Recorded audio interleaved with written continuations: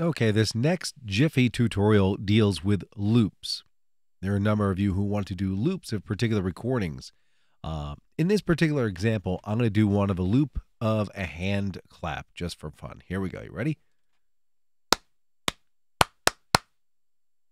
Okay.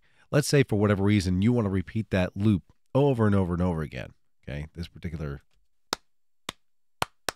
and maybe put a lag here. What you would do is you select the area you're looking for to repeat. And then you go up to effects.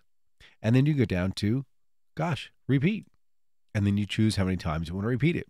In this particular case, we'll make it 10. Well, make it 11. Why not? Good round number. Hit OK. And it is copying and pasting. Now you go to the beginning and go.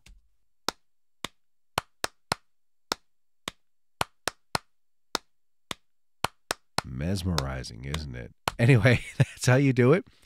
Thanks for stopping by and uh, leave me a positive comment. Thanks. Let me know if there are any tutorials you want. Bye bye.